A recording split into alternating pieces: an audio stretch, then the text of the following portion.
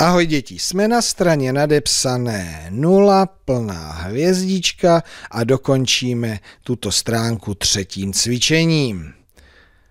Přečteme si zadání, použij do počítadlo, spočítej a napiš. Tak se do toho pustíme. Jedna a kolik chybí do tří. Použijeme do počítadlo. Jedna a kolik chybí do tří. Vidím tady mezeru, kterou doplním, nebo spíš zaplním dvojkou. A dvě chybí do tří. Jedna a dvě chybí do tří. Tři a kolik chybí do čtyř? Vezmu si do počítadlo. Tři a kolik chybí do čtyř? A jedna chybí do čtyř.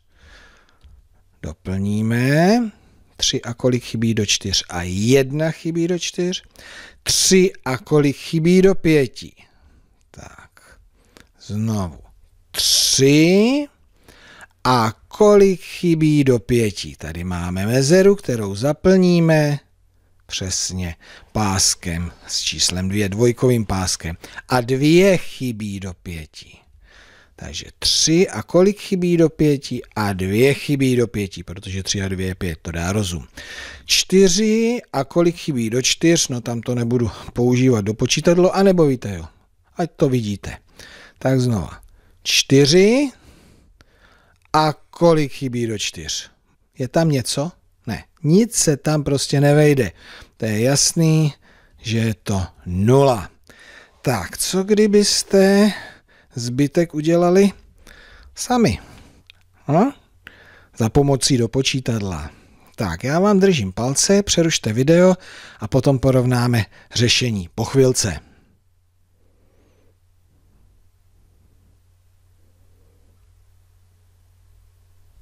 Bezva. Tak, jak jste pokračovali dál? Čtyři a kolik chybí do pěti, zase na dopočítadle. Čtyři a kolik chybí do pěti a jedna chybí do pěti. Tři a kolik chybí do čtyř, no tak to už je tady dvakrát, to už vím. Mně chybí jedna, to už nemusím. Jedna a kolik chybí do dvou, tak to jsme ještě nedělali, ale to je také jednoduché. Jedna a kolik chybí do dvou a jedna chybí do dvou. 0 a kolik chybí do 3, pro jistotu ukážeme. 0, nic tam nedávám. A kolik chybí do 3, no prostě všechny 3. Tak, to je druhý sloupeček a teďka třetí sloupeček už jenom budu říkat. A nebo mě napovídejte, jedna a kolik chybí do 3? A dvě chybí do 3. 3 a kolik chybí do 3? A 0. 2 a kolik chybí do 5?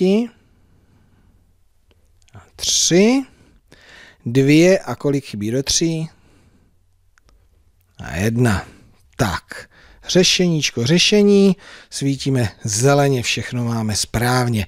Tak, někdo jste to dělal za pomocí do počítadla, ale možná, že jste to už někdo začal dělat přímo z hlavy, tohle dopočítávání. Tak jestli už někdo takový mezi vámi je, tak chválím, tam bychom to měli dotáhnout všichni.